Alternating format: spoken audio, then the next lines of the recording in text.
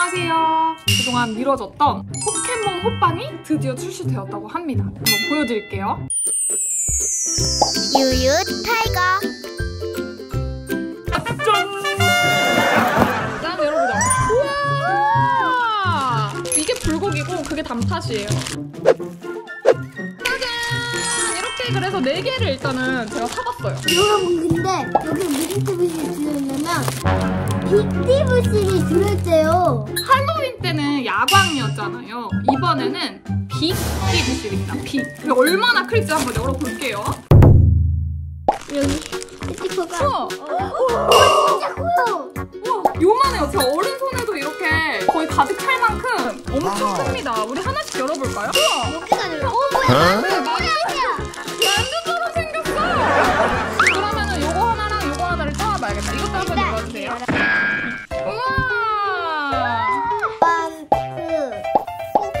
이거? 뭐야? 우와! 자, 지금 첫 번째 띠부실이 주주 주주? 어 우와! 그래 포켓몬 볼이 같이 있는 주주네? 만 네, 너무 귀엽네요. 이게 진짜 빅티부실이니까 너무 크고 너무 귀여워요. 루즈라 크기가 측량이 났나봐요. 일반 띠부실 크기가 자, 요만합니다. 훨씬 크죠? 딱 봐도. 지금 주주랑 토게피가 나왔는데 이번에 세 번째 한번 열어볼게요. 이쯤에서 일반 호빵이랑 어떻게 차이가 있을지. 아, 여기 중간중간에 호두가 들어있대요, 호두. 음! 똑같은 그 호빵 맛인데 가운데 호두가 아삭아삭 씹힙니다 자, 두 번째. 자, 소불고기 한번 열어볼게요. 아, 우와! 아, 버섯도 들어있는 것 같고, 파도 들어있는 것 같고, 유유는 편식쟁이를 안 좋아할 것 같은 비주얼이에요. 한번 먹어볼게요. 음! 진짜 소불고기가 안에 들어있는 맛이에요. 맛있어요. 음.